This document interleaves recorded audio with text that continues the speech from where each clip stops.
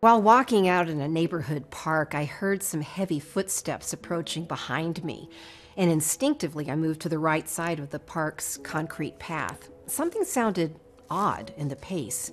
I turned just as they passed. An older man, chatting to someone on a mobile phone, while holding the hand of a disabled young man who walked beside him in a kind of uneven gait. They advanced, and then they U turned, returning from the opposite direction. Older man, younger man, and someone, invisible to me, on the other end of a phone call. Three separate people connected by flesh or phone.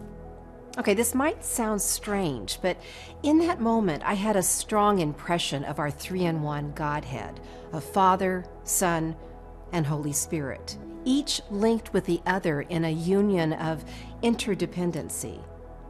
In John chapter 16, verse 12, the apostle quotes Jesus describing their relationship and how together they provide the wisdom we need.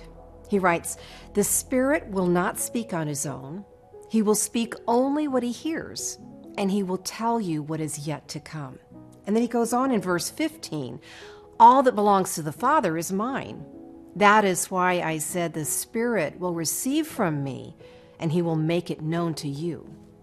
Father, Son, and Spirit communicate to each other.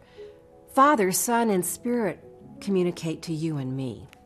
In unending communication, the Father, the Son, and the Spirit invite us close to receive the three in one wisdom our hearts need.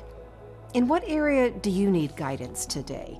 And how might you seek it from the Father, Son, and Spirit?